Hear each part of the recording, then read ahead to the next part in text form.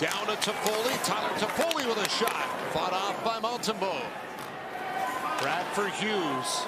Hughes played it over to Meier. Timo Meier down low for Nico Hischier. Hischier back for Hughes with a shot. Scores!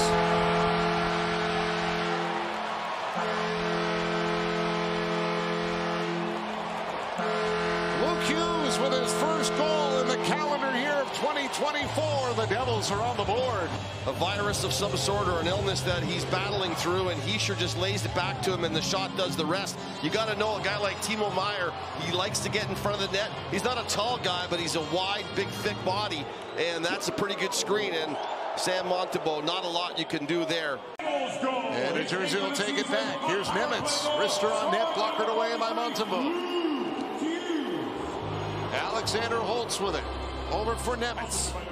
Shimon Nemec back for Holtz. Scores!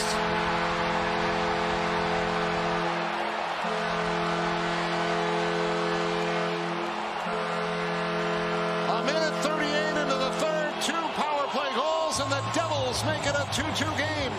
These three guys, Haula, Holtz, and Nemec, had the, the tablet out after the very first power play they were on in the first period. There was something that they saw they didn't handle well. You remember that Holtz had a one-timer from almost the same position, except he moved himself